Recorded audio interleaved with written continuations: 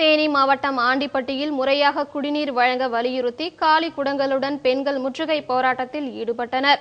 ஆண்டிப்பட்டி பதிமூன்றாவது வார்டில் கடந்த ஆறு மாதங்களாக குடிநீர் முறையாக விநியோகம் செய்யப்படவில்லை என அப்பகுதி மக்கள் குற்றம் சாட்டியுள்ளனர்.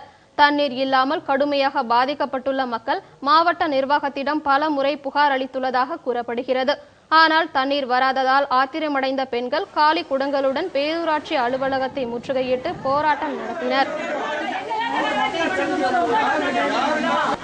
மக்களுக்கு தலைவர் எனக்கு அவர்கள் தலைவர். ஆமா. அதே மாதிரி நாங்களும் மக்கள் தான் மக்கள் பிரதிநிதியாக தான் வரோம்